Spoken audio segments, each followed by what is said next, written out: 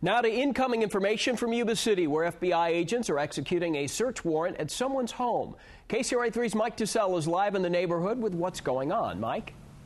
Yeah, and we are standing right at the corner of La Montilla Drive and Carolet Way. And if we spin around this way, we've got cars coming, so I'm going to stay out of the street. But it is this home right here on La Montilla where uh, federal and state agents are inside right now. And we saw them uh, just moments ago pulling out some evidence bags and taking them over to a nearby car. Take a look at some of the uh, video that we shot when we first got here.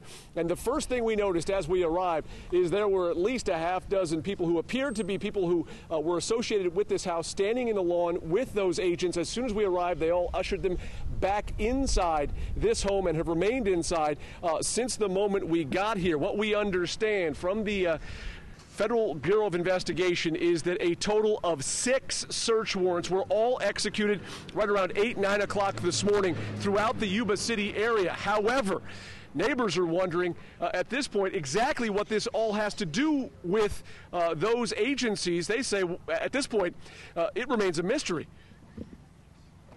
How many agents would you say you probably, saw? Probably about 10. And did you see them bring anything out of the house or anything? Nothing at all. I haven't seen anything like that yet. And just to see that many agents in your neighborhood, what was your reaction?